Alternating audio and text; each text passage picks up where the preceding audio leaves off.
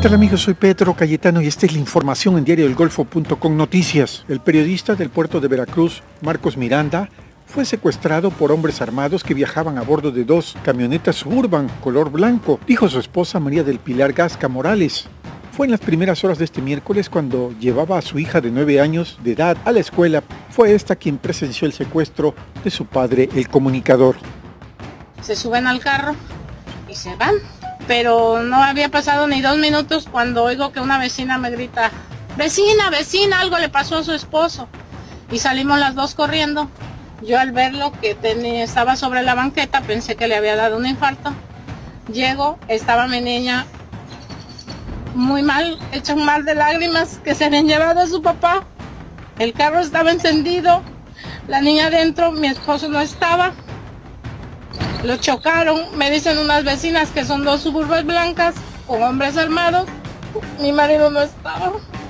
Yo les pido de la manera más atenta que me lo regresen. Él no es una persona que tome, que fume, que ande en la calle, que sea mujeriego. Él es muy de su casa. No tenemos ningunos nexos con los malos. Vivimos al día.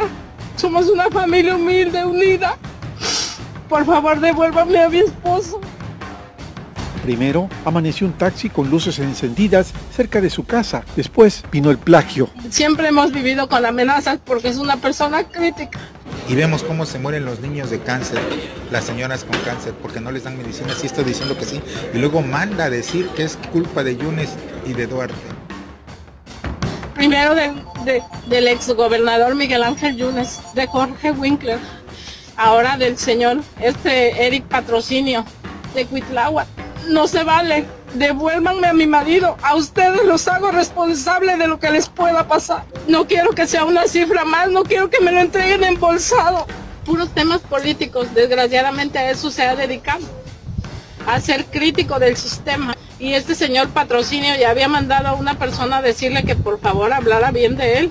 Que porque si no, no iba a haber chayo. O que ya sabía lo que le podía pasar pues esa como hace como un mes que llegó este una persona de parte del patrocinio a decir que pues se tenía que alinear, pero pues la verdad mi marido no vive del chayo, quisiera que vieran, pasaran a mi casa y vieran cómo vivimos. Eh, sí, miren, activamos protocolos que me obligan a la secrecía, pero sí quiero mandar un mensaje clarísimo, no solo con respecto a este hecho, sino también por lo que se dio y se ha reportado en medios en Ciudad Mendoza y otros lugares. Aquí en Veracruz se acabó ya la tolerancia a cualquier grupo delictivo y también a los grupos de secuestradores. Se acabó y vamos a dar con todos ellos, a pesar del fiscal general del Estado. Se acabó la tolerancia ya a los grupos delictivos, este, por muy grandes y fuertes que sean, y asimismo a todas las bandas de secuestradores. Vamos a ir tras ellos eh, de manera contundente. Hasta aquí la información. Soy Pedro Cayetano. Hasta pronto.